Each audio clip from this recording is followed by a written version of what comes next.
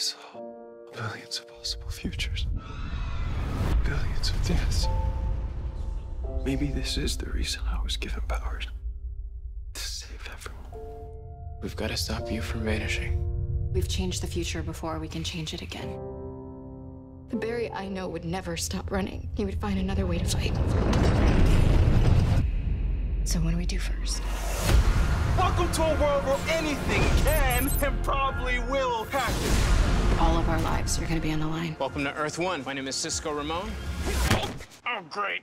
Another angry one. You want to tell me why the hell you were time traveling to begin with?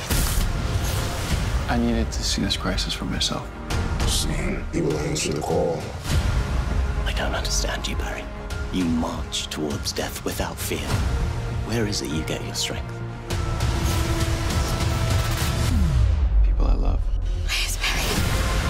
Suit's finished. Your emblem, our badges, they're symbols of the strength that we're charged with. When we hear the call of duty, we're willing to make that sacrifice. Oh my god. We just ran out of time. We can't stop what's coming.